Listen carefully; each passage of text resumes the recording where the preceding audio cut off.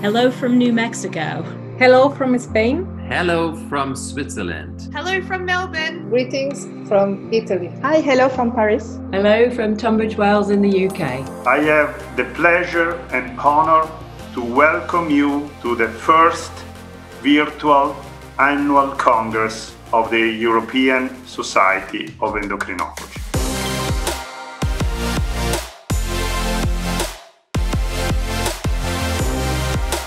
It is my exceptional pleasure to present you the 2020 winner of the European Hormone Medal Award.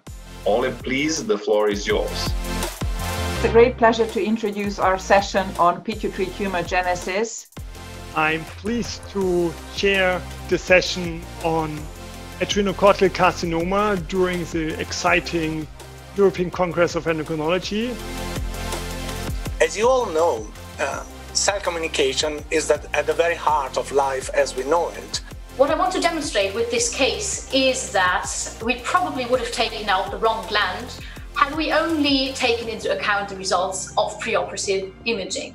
So which event led to the start of the French Revolution? I will be doing a debate session on puberty suppression in transgender adolescents. I'm delighted to participate in the ECE meeting on the COVID-19 session.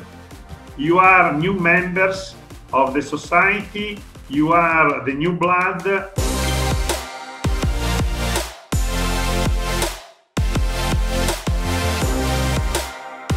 If you want uh, the voice of endocrinology to be more uh, heard, it's always a good idea to try and have this alliance of the health professionals and the patients. You need to help us by showing the link between uh, endocrine disruptors and the risk of COVID 19.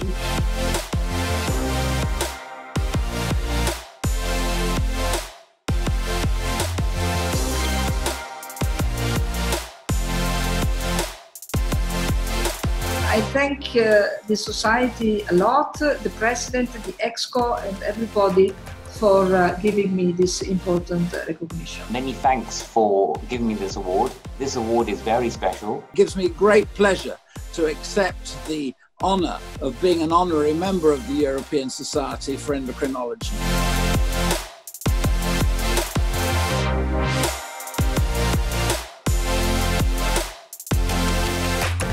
I think ESC has done a, a, a stellar job in, in um, plugging the gap despite COVID-19 to, to bring um, the, the virtual meeting alive in September.